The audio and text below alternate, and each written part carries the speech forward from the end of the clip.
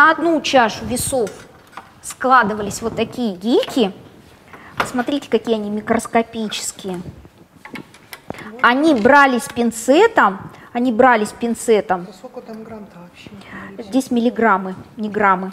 Точно как в аптеке, это придуманная не на ровном месте метафора актуальна во все времена. Ведь, как известно, все яд и все лекарство, то и другое определяет лишь доза. Но все же в работе фармацевтов за полторы сотни лет кое-что изменилось. О том, какие были лекарства два века назад, при помощи чего они изготавливались и во что упаковывались, можно увидеть воочию в Красноярской аптеке номер один. Для всех людей аптека – это препараты, которые, лекарственные препараты, которые изготовил завод изготовления.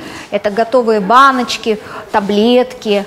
А аптека начала 19 века – это мензурки, флакончики, а, коробочки.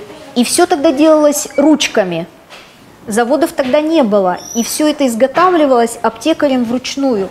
Причем аптекари это были не бедные люди, потому что некоторые инструменты, они стоили очень дорого. В аптечной коллекции можно пронаблюдать эволюцию многих инструментов и приспособлений для изготовления лекарственных препаратов. Вот, например, все варианты ступок, бронзовые, фарфоровые, самые дорогие из агата. Или вот приспособления для изготовления свечей, которые в начале прошлого века делали только вручную. Вот эта форма для залива.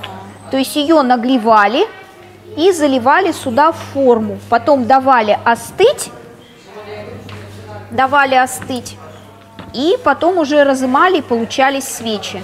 Раньше бутылочки для лекарств были хоть и не очень удобные и привычные для нас, зато красивых форм. Как сейчас для парфюма из серии «Дорого-богато», что свидетельствовало о том, что лечиться лекарствами из аптеки было не самым дешевым удовольствием. Да и вообще все, что связано с фармацией, было эстетически привлекательным. Весьма солидная упаковка для лекарств, на которой герб, красивый шрифт, да и почерк у врачей 19 века аккуратен и вполне читаемый.